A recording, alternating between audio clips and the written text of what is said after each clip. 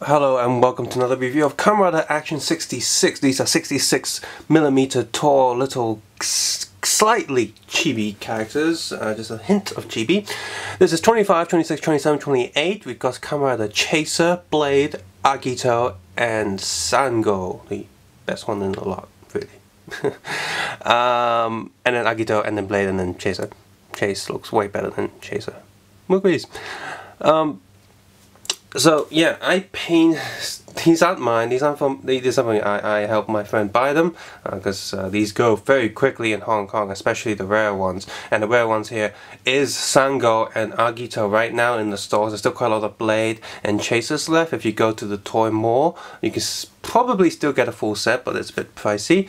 And finally, uh, the yeah the Sangos and Agitos are completely gone from the candy stores. That's where you can get it at the pretty much the retail price. All the actual toy stores are gonna charge more for Sango and Agito. For example, in the Ultraman series in Wave 1, it got re-released and, and is in Hong Kong. Usually a box of these about $36, 39, uh, you know, in the, in the candy stores and whatnot the monster from the first Ultraman set is, is what people remember, the little giant crab monster. The point is everyone knows that one, everyone wants that one, and that's the rare one. It was a hundred dollars, so it, was already double in price, and these things aren't even you know, old, it was a reissue. So so I, I imagine Sango and Agito's prices are going to be a, a lot, a bit higher at least, at least probably 60 at least, and maybe 70 to 80 now, uh, compared to all the other ones because there's, there's pretty big demand for them and it's weird because that's the one everyone wants. They should have made Chaser the rare one because not, I don't think that many people actually want that one. Uh, and well at least people can get two of Chaser and two of Mach and make Mach Chase form. Uh, so yeah. Packaging is completely consistent with all the previous ones, so if you're the type of person who keeps all the boxes, you can display them all together. It should look pretty snazzy. And my friend still hasn't been able to get uh, a uh, normal Zangetsu, I think. Because that was pretty well. I think he did find it eventually. No, no, I haven't filmed normal Zangetsu. No, he, thought he hasn't. Hmm. I? Can't remember. If I did, he has. If I didn't, he hasn't. Quick look at the back of the box uh, showing you um, you know what's inside and what poses you can do. And uh, like I said I painstakingly removed the stickers on all of these. It was such a pain the candy stores that's, that's one thing the candy stores yes that you can get at a normal price but they have these stickers on them and these stickers do not come off easily.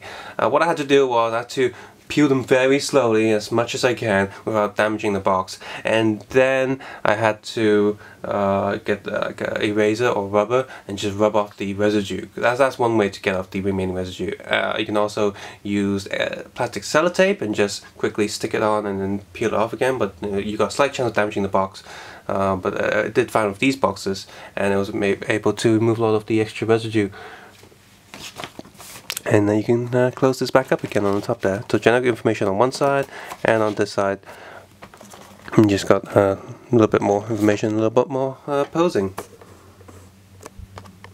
Inside all of these boxes all the pieces come in this little baggie. Uh, you have um, one compartment will hold a little tray that has all the hands and stuff uh, molded into this bracket. Uh, one will be the head, one will be the body, and one will be this little plate that again they've changed the posing plate for these figures. And as always, you also get a generic piece of uh, fruit flavored candy, just like all the other ones. Last thing to note before we move on to the figures is that uh, inside uh, each box, the inner layer of the box is the basic instruction and assembly guide for these figures. But you don't need it, but it is there for younger kids if they do. Anyway, let's move on to First one here we have is uh, Chaser and just take a look at this new stand. What it does is pretty much literally just plugs into the bottom of your feet and I'm just going to do that now. You're going to um, they plug into both feet and I just push the feet off into the air. So there, you sort of have it like that and it's just kind of awkward. It's not the best way to stand. Um, if you don't remember, uh, the first release, the first waves, uh, they had a little black bar that goes plugs in both the back of the feet and in, and then later they added a bit extra plastic so the, the, the stand can hold more hands on it and then after that they released uh, these two bar like things L-shaped bars that can plug in plug together uh, that have a floor bar and actual standing bar in a, in a V shape, so they actually have a little stand to plug into the back of the figures. These figures still have a little hole on the back, so if you do have a Tamashii stage, you can use them. They are compatible. A Tamashii stage is the ones that you use for, say, SH Figuarts or Gundams and, and, and SIC figures. And then finally, they changed that stand again by molding two pieces of the same plastic that have a hole in the middle. So it doesn't matter which way you plug them in, you still get a somewhat stand, which was still fine and it saves them money because it's the same mold. So you got two pieces of plastic in a V shape that can plug together to make a stand and have little holes in them to hold your uh, hands and stuff. And then now they change it to this. It's just like, keep your mind. Just stop changing the bloody stands. It was good when we had a V-shape bar.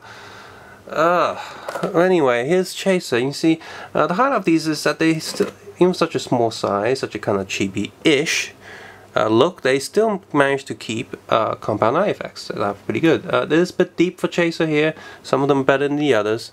And he's going to be coming off the stand. So uh, just quick look at this stand. It's just literally a plate. And it has two fists on it. So that's what he has. He has two fists, uh, two open-ish hands. And he does have the signal axe it's made of really soft rubbery, uh, rubbery plastic. It's not painted whatsoever, and his hand doesn't really hold it too well, I have to say. Um, I mean, it stays in there, which is important, I guess. Really. Um, but yeah, the Signal Axe looks literally like a smaller version of uh, a very detailed Signal Axe toy. All the are there, uh, so if you if you want to spend some time painting this, you can make it look really good. And you can see here, it's not really staying in his hands too well, depending on the pose, so it's going to be a bit of a pain. So, yeah, and aside from uh, eyes, they also keep a lot of articulation. So, uh, up, down, so you got a ball joint here, you can rotate a little bit.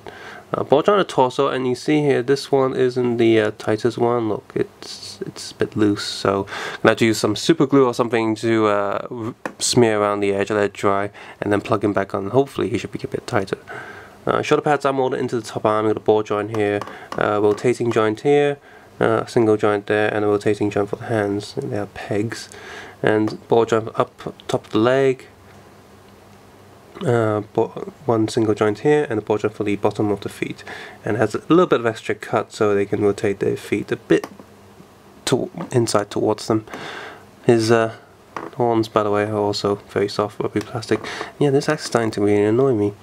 You're supposed to be able to hold him, hold it like that, and you should be able to, there we go. That's, that's the way you're supposed to pose him. And uh, yeah, so more detail on him is pretty good. Uh, the the chaser driver is also decent enough. Looking on the on the oops, on the side there, you can see for the most part these aren't painted on the back. However, he does have the helmet paint go all the way around the back, and the shoulder plate paints are enough. It also has the logo printed there, which is somewhat hard to see in certain angles. But it's good that it's there, at least. And uh, the molding detail on the back is still decent, still has a little tire thing on there. Uh, so the, yeah, the paint on the back is very minimal. So, hmm. I mean, overall look on him for one of these chibi characters is absolutely fine. Um, and they can, look you see, can stand on their own. But that, that, that stage thing just really annoys me. Why do I have to change it again and make it worse? Next we have Blade, or Blado, Japanese would like to say. Uh, comes with two fists again. And crappy stage. He does have his blade sword. Um, and there he is. Let's try and stand him. And uh, yeah, he's uh, lacking in a lot of paint. All he has is uh, green and silver. The body plastic is blue and the eyes are sort of you know, transparent red there, but he, he doesn't have other paint details there really. Um, Chaser did have silver, purple, light blue, and, and black painted on him. He, he only has pretty much, apart from that one dot of green, just silver. But again, uh, his articulation is just pretty much the same, decent. Uh, and again, just like Chaser, his uh, torso ball joint is a bit loose. Um, however, apart from the joints, uh, his overall molding details is pretty good. Um, paint missing uh, on the back and the inside of the hands, that's really annoying. And um, he didn't even paint all of his horn, or there's nothing really on the back apart from the shoulder pads. Uh, so he's missing a lot, a lot of paint especially on the belt buckle. That, that's missing so much, but um, that's what you expect from these so chibi characters. And as for the sword, again, it's just a single piece of black plastic. It has the cards permanently uh, pulled out, so he can do the card choosing thing. And he holds the sword a lot better than Chaser holds his. Um, however, under, under certain angles, it still can get a bit loose. And uh, the overall size and shape of this thing is still decent, even though it's a slightly chibi sort of shape. Agito also comes with the extra fists, in fact they all do. Um, he also comes with the extra face horn plate for his uh, rider kick. And so there he is. And his, his horns are kind of annoying because they were also in the box they were also attached to uh, a uh, sort of a uh, plastic bracket so uh, you can see here uh, you really need to have some like nail clippers and just file these down and um, you'll get the cut in the paint because that's where the plastic cuts and the gold is painted onto the plastic and it's not molded into it. He's got gold, silver and a light metallic blue painted on him. And again, look at that, loose, loose torso. All of them have this problem. I don't know why, what's going on. Um, and again, his inside arms are not painted, so this gold paint just sort of ends just a little bit. So there's a bit of missing paint there. Oh, that's probably joint. Hmm. No, I'm not impressed. Just rotate his hand. So apart from the fist hands, on him are the uh, oh, kicking and henshin hands. uh, his belt is actually painted okay. Like they did put the main importita there. He, he actually has a painted belt for one thing compared to the other ones. Apart from that. Mm. And again, the back is not painted at all. He doesn't have the shoulder pads painted unlike the other two. They just sort of like, fuck it uh, whoops, uh, sodded, and uh, they just sort of end the pain. Like, well, what, what, what the hell? You know, just I mean, the other guys have it. Why doesn't he? So uh, let's just swap this in just so you can see the uh, other helmet. Ah, he's he's looks he looks kind of it looks actually really creepy without the uh, horns there. Um, let's yeah, plug that in. It does swap pretty easily. Uh, the horns are softish plastic, so uh, I wouldn't be scared of snapping these at all. So plug that in and he's ready for his uh, rider kick. If I can kinda... Oops, hand fell off. It's uh, actually a little bit hard to get him in the correct uh, rider kick pose because his torso is so loose um, and the way the, belt is shaped, he might actually uh, spin his body back around. So that's that's kind of annoying. Finally, uh, Sango has these two flat open hands well as the fists that are attached to his body and there he is. And again with the uh, you know the loose torso it's really annoying. Uh, he doesn't really have any accessories so one would hope that he's the best made out of the lot and he does look pretty good at, in first glance. Um this arm here the inner arm actually had a bit of extra plastic stuck on it from the you know from uh, cutting it from the from the injection. I've removed it now, but it did stop this arm from turning. Now it's a little bump there, which um, is actually very useful. Um, a little bump, a little click there, so actually very useful for, for posing purposes. Uh, his paint is really nice. His details not so much. He seems a bit faded in some areas. He does have the little chains attached to him. Does have a little golden scuff, so that's good. His helmet's painted all the way around, thank God. And so are his feet. Uh, and the helmet does look pretty nice. However, the compound eyes are pretty hard to see through that foggy plastic. He's got blue, silver, red, and darker silver, and gold, so uh, and metallic blue. So one, two, three. Let's see. No, no, no, wait, wait. The belt is one, two, three, four, five, six. So he's got six different paints on him, and that's that's good. That's where the money went because he doesn't have any accessories. And this is belt is a bit no. His torso's just so play loose. Why is it for all these ones. It's really annoying. Um, but apart from that, he does look pretty good. I mean, Sango, there's not going to be too many ways of getting this figure. Uh, there's SH Figuarts coming out, there's him, and there's also the, uh, the, the, the, uh, the, HG special release for Rider GP. Um, his horns are also very soft plastic, so I wouldn't worry too much about snapping them. And there he is on the back and with no paint whatsoever on the back of the body and that's really annoying. So there you go, uh, this wave isn't that great. The loose torso hip joints and the terrible stands, they just... Uh, um, yeah, I, am not really that impressed with this wave, but that's probably also due to the fact that there's been quite a few waves out, out now, so uh, I'm, I'm over the initial, oh cool, these are kind of cool new things, uh, so that that's going for it. Um, yeah, this great. This this this set is so-so. Uh, really, the highlight. If if you if you've been collecting them, of course you're gonna have to get this because you know you're gonna have to complete your Heisei riders.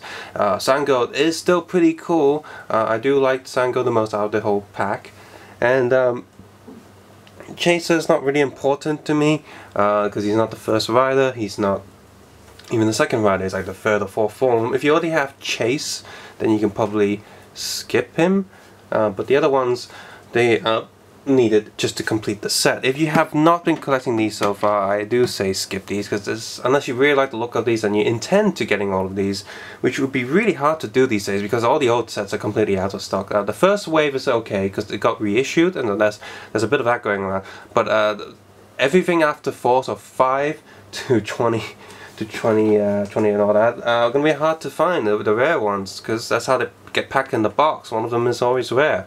So uh, if you want to collect a full set, you're late. it's going to be really hard to do that. However, if you've been collecting them out for a while now, then you should be okay. For everyone else, I'd probably just say, just, I don't know, find something else, I guess, to collect and instead of these.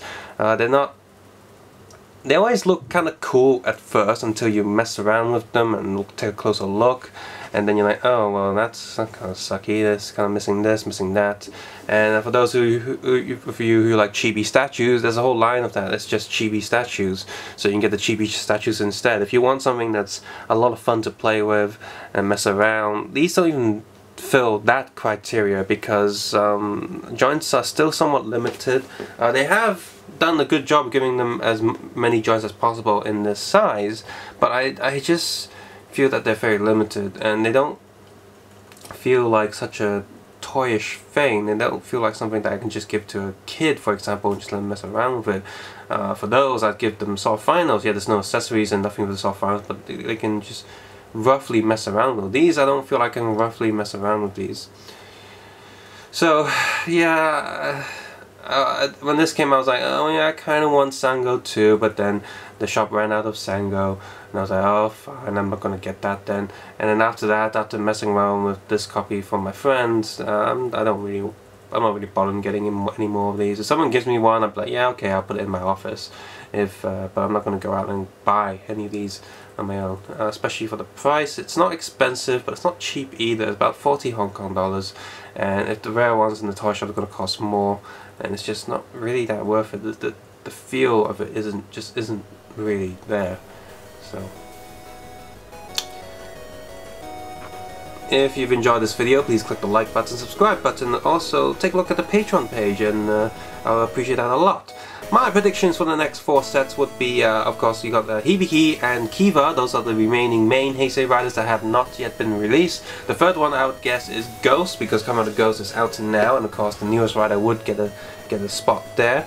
And as for the fourth one, um, if, if Spectre comes along before they release it, then the Spectre would be in there. If not, I predict X, because Kamen X has been appearing in a lot of, of these random uh, toys for a while now, so I wonder what's going on there.